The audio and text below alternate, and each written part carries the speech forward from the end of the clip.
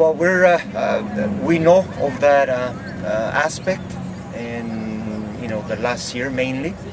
Um, I think it had to do a lot with with the uh, injuries, but hopefully we can have a, a good, healthy team, and and you know work on our attacking third. That's you know where we're gonna probably spend more time uh, to make sure that that uh, you know we improve on that area. I think uh, you know in the previous year, Chivas USA has had a a style of play and has been competitive.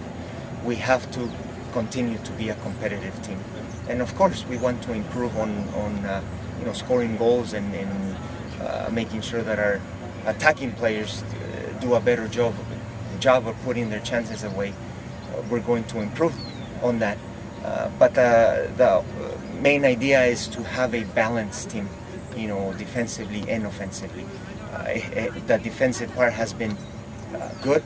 We have to work on our offensive part so we can have a balance.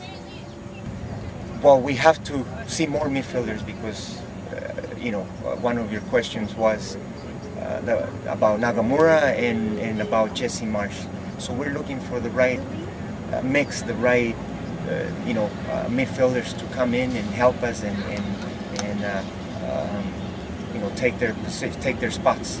Um, you know, we also have to see who uh, of these midfielders has a presence in the box because that's also uh, maybe why we couldn't score a lot of goals. You know, if we are in the box with uh, uh one or two or the, our forwards, you know, we need to get more numbers. I think that's the idea, and that's what we're going to work on.